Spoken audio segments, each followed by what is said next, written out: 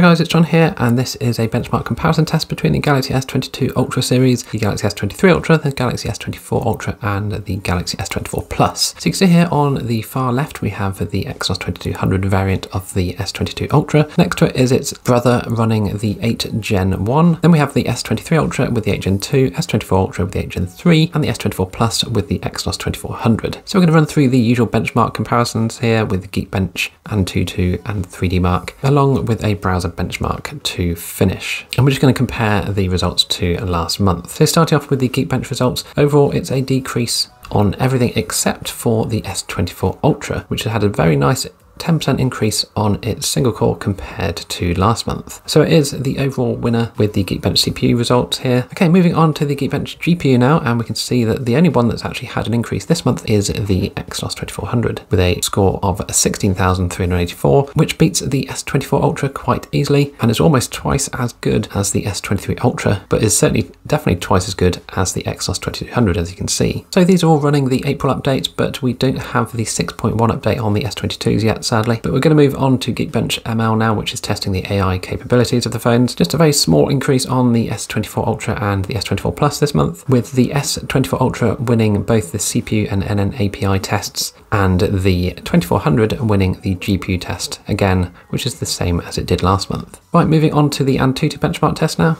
and pretty much the same scores as last month, except a small increase on the S24 Ultra and the S22 Ultra Exynos edition. But yeah, nothing too exciting there.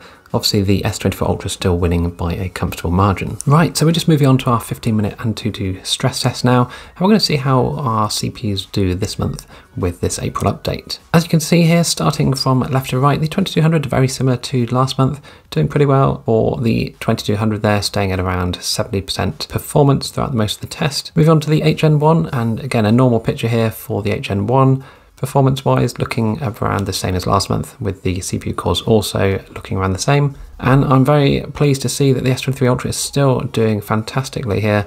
Look at its performance here, running at around 90% average, at least I'd say, throughout the majority of the test, with those cores running at their respective speeds all pretty much locked to what they should be. S24 Ultra though is the same disappointment as last month. As you can see, look at that performance. We're going down to about 50% performance after the first three or four minutes of the test. That's really very poor where the clocks get put down to about 2 gigahertz which is very, very disappointing indeed. The 24 Plus here with the Exynos 2400 doesn't look too bad. It starts really well actually at the start of the test here, going at about 80% performance. It does then drop down after about five or six minutes, down to around 70 to 75% performance for the rest of the test. And you can see here the cores also drop down to around 2 gigahertz, which is what we can see happening on the S24 Ultra as well. But overall, I'd say the S24 Plus has performed better performance-wise compared to the S24 Ultra. Okay, we're going to move on to the 3D Mark test now, and we're going to start off with the Wildlife Extreme Stress Test here. We're just running this once this month, and you can see here with the final scores that the S24 Ultra has beaten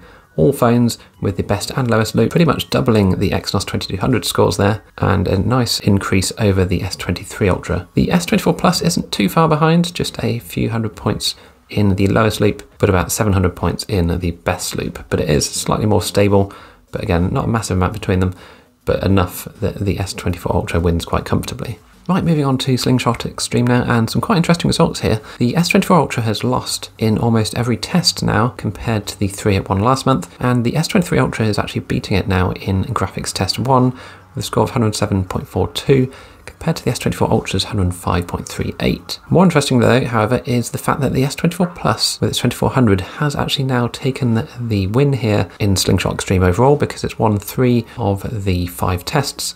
That's graphics test 2 and physics tests part 1 and 2. So the only one that the S24 Ultra won this month is physics test part 3. Right, we're going to move on to the browser bench now, and we can see here that the throne of web browsing has been stolen from the S24 Ultra and been given back to the S23 Ultra here with a score of 205. That's a big decrease there for the S24 Ultra of nearly 17.5%.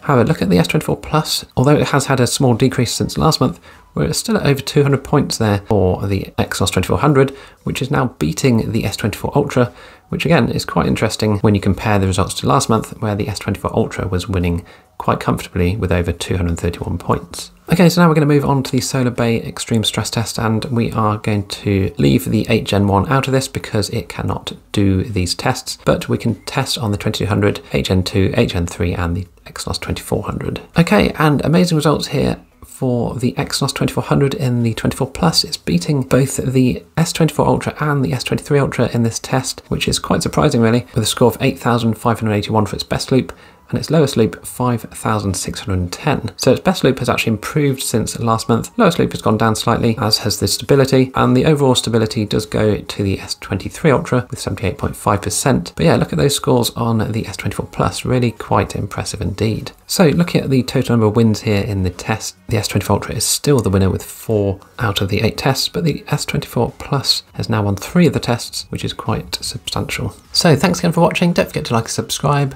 and I'll see you again in the next video.